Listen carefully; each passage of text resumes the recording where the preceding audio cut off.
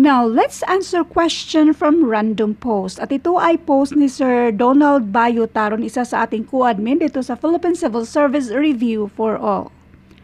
Now, sa grupong ito or kung saan mo man siya makikita, wag niyong pang wag niyong kalimutan yung name niya, yung pangalan niya, Sir Donald Bayo Taron.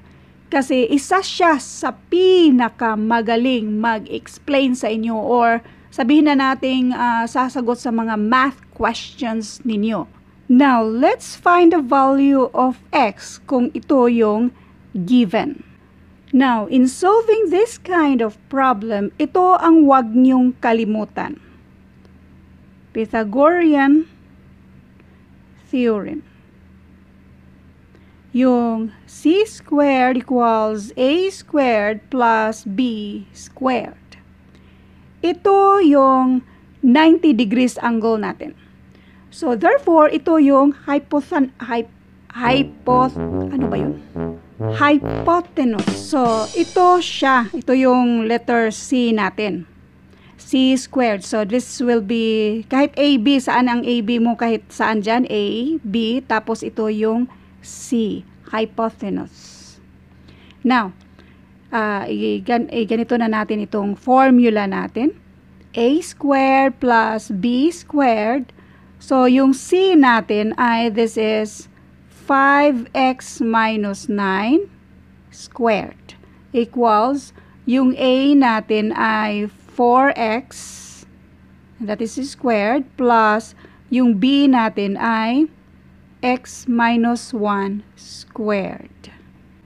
Paalala lang at naalala ko lang din na kung mag-substitute tayo kapag sinabing c squared yung value ni C ay itong 5x minus 9. Kaya ilagay mo yan sa loob ng parenthesis bago mo lagyan ng squared.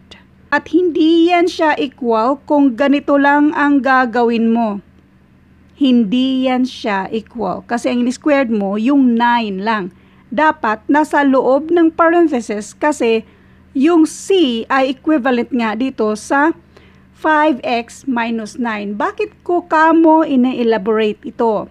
Kasi, base sa experience ko sa pagtuturo regarding dito lang ha, sa pag-substitute, mayroon tayong na-post na negative n squared na yung value ni n ay example negative 2. Kapag value ni n negative 2, ilagay mo siya sa loob ng parenthesis bago i-squared pero kopyahin pa rin si negative. Ganon ang mag-substitute. Kasi sa dating uh, na-post natin na ito ay yung n ay equals to negative 2. So therefore, nasa loob ng parenthesis si negative 2. Ini-elaborate ko lang kung paano mag-substitute, lalong-lalo na kung yung variable natin ay naka-squared. So therefore, yung variable na yun, kung ano yung value niya, ay dapat ilagay mo sa loob ng parenthesis. Kasi minsan nang may nagkamali nito. Minsan nang may nagkamali nito at sinabihan natin kung paano yung tamang sagot, ang sagot naman niya ay pinakilala niya sarili niya na isa siyang math teacher. By the way, ang pagiging math teacher, hindi sa lahat ha, kasi yun lang yung kausap ko, hindi yan basihan para sabihin lagi kang tama, hindi yan basihan. Kaya importanteng mag-aral talaga ng mabuti kasi kung si, si isang math teacher ay nagkakamali nito, paano na lang kaya tayo? Now, isa-isahin na natin itong isolve. Itong 5x minus 9 squared. Meron na tayong na-upload na paano mag-multiply ng mga binomials. So, ilalagay ko sa description ng video ito at hindi na natin isa-isahin yan. So, this is 25x squared. Tapos, shortcut lang to.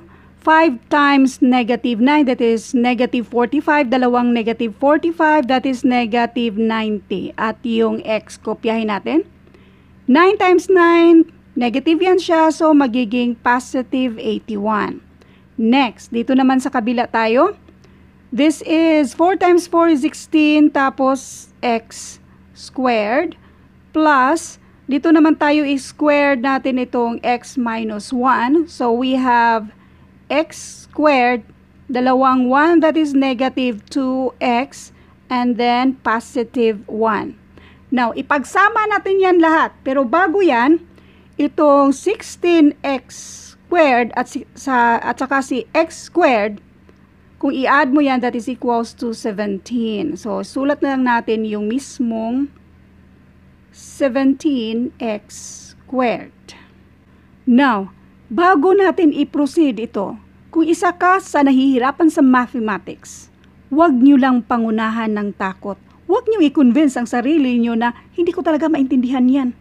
Ang ma- masyado ng komplikado, ma'am. Huwag nyo pangunahan yan. Madali lang ito. Relax ka lang.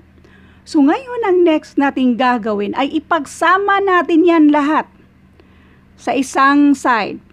Kahit saang side ang gusto mo. So, i-keep natin dito si 25x squared. Itong si 17x squared, since positive yan kapag matransfer maging minus 17x squared. So, nandito pa rin si 90x. Ang kapariho dito ay ating ipagsama ba? So, itong minus 2x, since pang minus siya dyan kapag matransfer, maging plus 2x. Next, nandito si plus 81. Now, itong si plus 1 dyan sa kabila, kung i-transfer, magiging minus 1. And this is equals to 0. Ang ginawa natin, nag-equate tayo to 0. Next. 25, yung mga like terms na 25x squared minus 17x squared, that is equals to 8x squared. Next, negative 90x plus 2x, mag-add tayo ng unlike sign. So therefore, i-minus natin yan at kopyahin yung sign na may malaking value which is yung negative 90. So therefore, this is 90 minus 2, that is 88 at kopyahin yung sign na may mas malaking value which is yung 90. Anong meron dyan? Negative. So, negative 88x. Next, 81 minus 1 and that is equals to positive 80 equals 0. Now, para mas madali, i-list muna natin ito kasi meron naman yung common na factor or greatest common factor nito ay 8. So therefore, i-divide natin ng 8 yung buong itong buong equation na ito. Maliban lang dito sa 0. So ito na lang kasi 0 naman yan 0 naman yan siya. So 8x squared divided by 8 and that is equals to x squared. 88x divided by 8 and that is equals to nandun pa rin yung negative, negative 11x. Next, This is positive 10. 80 divided by 8, that is equals to 10. Equals 0. So, ito ay gawin nating ganyan.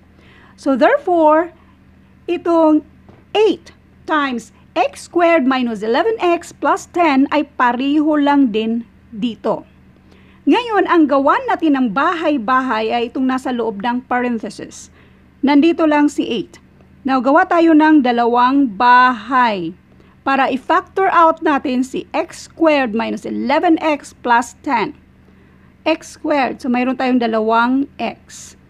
Ngayon, yan ay 10. Hanapan natin yan ng mga factors in such a way kung i-add natin yung factor na yan, ang sagot ay 11.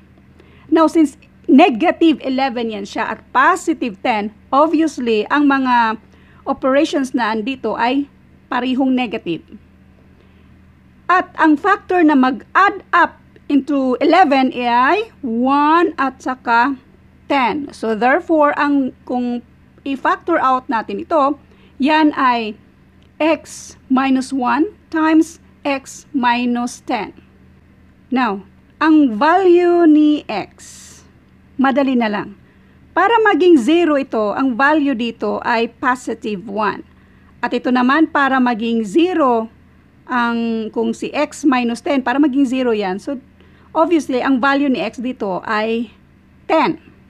So ang sagot ay hindi pa pala sagot. So ang value ni x ay 1 at saka 10. Ngayon ang sagot. Always remember kapag mga measurement, yung mga distance, yung mga ganito ba, yung mga measurement dito sa ating question dito, sa question dito ay should not be zero, should not be equal to zero or less than zero, should not be negative numbers or zero. So therefore, ang tamang sagot dito ay 10. 10 lang. Napapansin nyo, kapag mga shape-shapes, yung mga measurement na yan, nabilong yan sa geometry. Pero hindi pa rin nawawala ang algebra. Solve for x. Ang x ay equals to 10. 10 lang. Now, if you are new to my channel, ito yung FB natin at ito naman yung FB group na pwede kayong mag-post dyan. Marami tayong mga FB members na haping sagutan yung mga tanong ninyo. Ang Philippine Civil Service Review for All at iba pang mga FB group na lagi nating tinatambayan. At ito naman ang FB pages natin.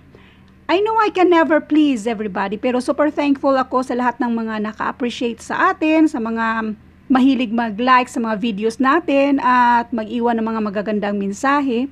Thank you, thank you so much. And all I hope and pray that you will be blessed more than pa sa in-expect nyo. God bless.